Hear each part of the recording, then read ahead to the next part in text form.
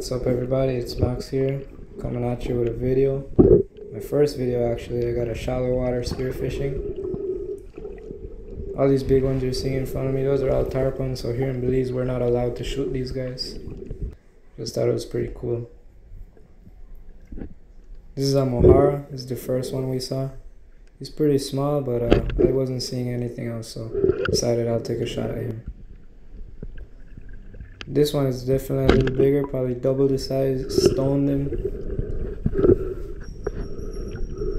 That was a pretty good shot as well. And this one is a little barracuda right here. It's taking off of my gun, and he starts going crazy. This guy isn't that big, he's only about maybe two, two and a half pounds. But he still put up a really good fight.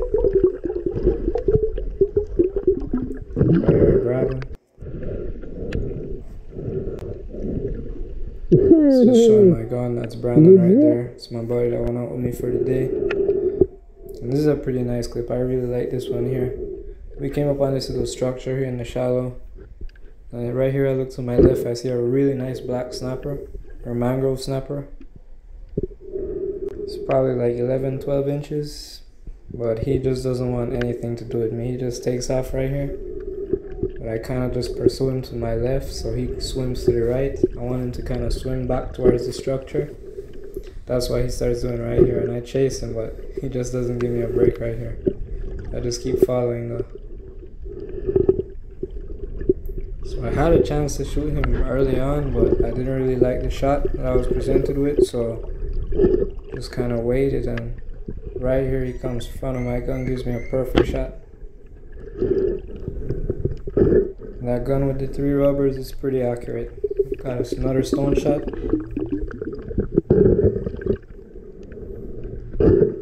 That was pretty nice. And this right here, I can't believe I missed the footage, but a big school of yellow jacks just swam in front of me.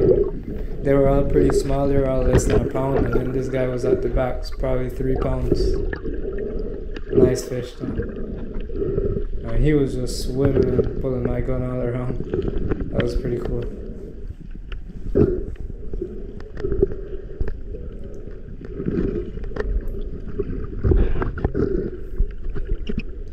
And I still had the snapper in my hand, so right here I'm just trying to get a hold of the string.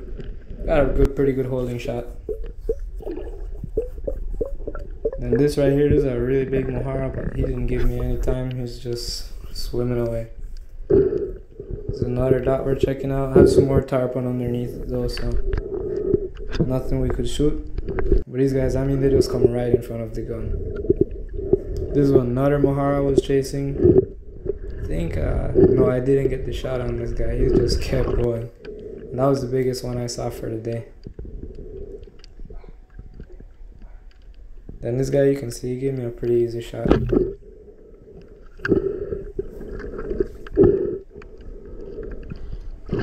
This right here is only like four feet of water, very shallow. It was a little murky this day, but I'm glad the guys can still see it pretty clear. Then this was the biggest mojara that I got for the day. Didn't stone him, but still got a nice little shot on him. These are this is my mom's favorite fish to eat actually, so I go for these.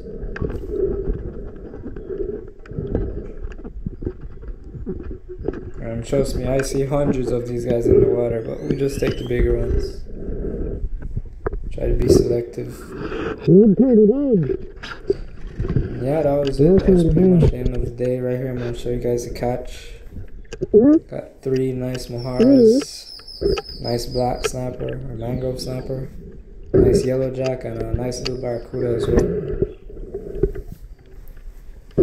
That's my gun right there. That's Brandon over there. So yeah, I hope every you guys enjoyed. Hope everyone enjoyed the video. Please feel free to like, subscribe if you checked it out. See you next time.